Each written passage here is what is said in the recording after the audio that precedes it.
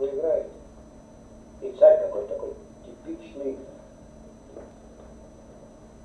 На нашего Буншу похож. А меня